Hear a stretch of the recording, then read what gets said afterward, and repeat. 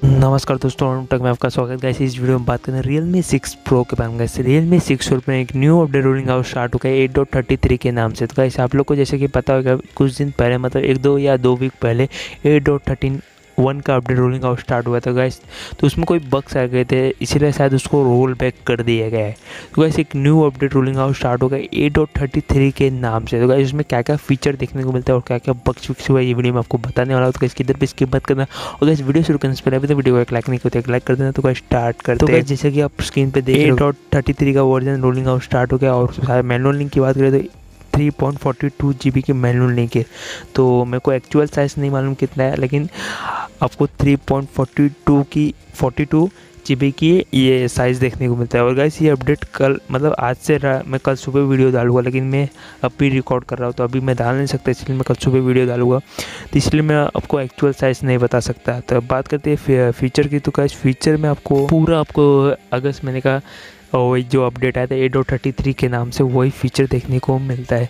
तो गाइस अब जैसे कि आप देख रहे हो पूरा ऐसे फीचर देखने को मिलता है। आपको पता तो भी बता देता हूँ एक बार।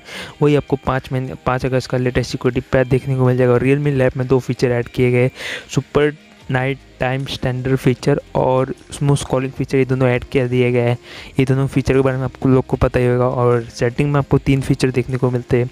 तीन नहीं मतलब एक आई मी नंबर को आप कॉपी कर सकते हो लॉन्ग प्रेस करके और डीप क्लीनिंग ऐड कर दिया गया है प्रोसीजर मैनेजमेंट में और बैटरी परसेंटेज था उसको ऑप्टोमाइज कर दिया गया है।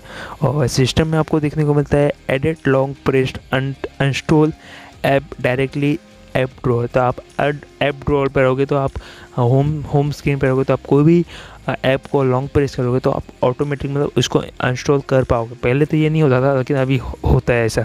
ये अपडेट के बाद आपको देखने को मिलेगा। और स्टेटस बार में आपको बहुत सारे चेंजेस देखने को मिलेगा, जैसे बहुत सारे बॉक्स उसको फिक्स किया गया, और बहुत सारे चेंजेस देखने को मिलेगा, जैसे कि ओटीजी डॉगल देखने को मिलेगा। फोकस में उसका अलग से एक डॉगल देखने को मिलेगा। म्यूट और वाइब्रेशन का जो इशू था, उसको फिक्स कर दिया गया। और कोई भी अपडेट आएगा तो आपको पॉपअप विंडो देखने को मिलेगा। और फ़्लाइट मोड और ब्लूटूथ का जो इशू था, उसको भी फिक्स कर दिया गया है।